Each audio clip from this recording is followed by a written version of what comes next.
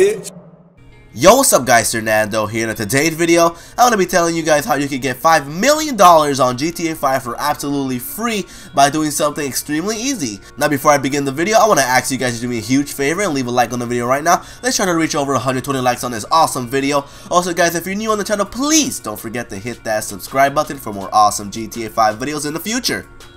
Alright, so basically, Rockstar is hosting this little contest where if you guys take a picture in the Cargobob by placing a random object that picks up, I don't know, like a car, a truck, or anything that you guys can think of, and place it somewhere ridiculously unnormal like, and take a picture of it and send it to Rockstar, or just upload it in Snapmatic, hashtag it thanks Cargobob and then you'll be entered to win a contest which basically if you win you get $5 million in GTA 5 also you get to keep a real life object like a GTA 5 hoodie, a Blaine County police cap, an iPhone 5 case and lastly a GTA 5 golden USB so if you guys want any of those amazing objects right there, or the in-game money, all you have to do is the easy stuff I just said. And basically, I'm to repeat it again. Pick something up with the Cargobob, drop it where it absolutely doesn't belong, snap the most creative, impressive, beautiful, or amazing Snapmatic photo of it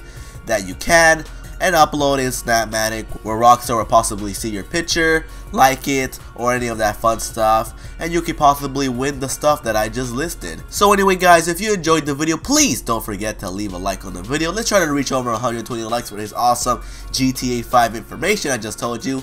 Next thing is, if you guys haven't already, make sure you hit that subscribe button for more awesome GTA 5 videos.